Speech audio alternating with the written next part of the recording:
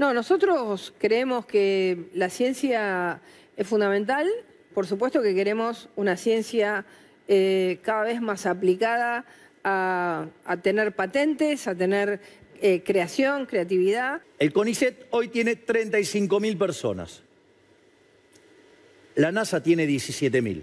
Me parece que el CONICET no produce en línea con lo que produce la NASA. Nosotros el CONICET tal como existe hoy hay que cerrarlo. Comparó la NASA con el CONICET. Sí. Digamos, un desconocimiento absoluto del Estado, porque el comparable de la NASA es la CONAE, que es la que hizo el SAUCOM, que tiene 300 empleados.